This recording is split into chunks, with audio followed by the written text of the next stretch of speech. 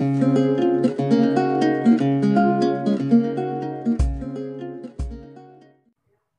friends, welcome to MECH CAD. Today we are going to learn about CAD. Basically, what do we understand by CAD? It is computer aided design and it is the use of computer programs to create two or three dimensional graphical representation of physical objects. CAD software is widely used by engineers, designers and architects. It is used to create and design a variety of new products and parts in wide range of industries. It enables users to test and learn more about existing products and parts. In product and industrial design, CAD is used mainly for the creation of detailed 3D solid or surface models or 2D vector based drawings of physical components. CAD allows designer to model the entire object much faster and without the need to physically render the item.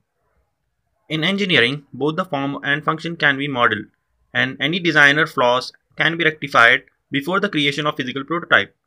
In addition, CAD allows for use of all the standard symbol required for technical drawings and schematics.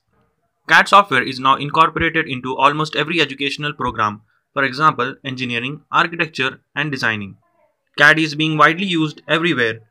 For example, in jewelry, auto parts, buildings, cars, space shuttles, planes, bridges, clothes, interior design, and a lot more. The benefits of CAD include lower product development cost, increased productivity, improved product quality, and faster time to market. Better visualization of the final product, subassemblies, and constituent parts in a CAD system speeds the design process.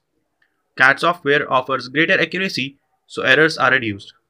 There are various types of CAD softwares available in the market today, which are specialized for specific applications, like Revit is for civil department, CATIA, ProE, AutoCAD, ANSYS, etc. are for departments like mechanical, aeronautical, automobile.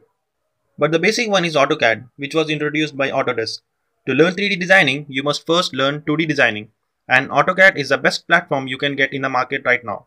With CAD, your imagination is not bounded up to the sky, it is beyond the limit of sky. So give a leap to your imagination with computer aided designing. Please subscribe to my channel to explore CAD from basics. Thanks for watching.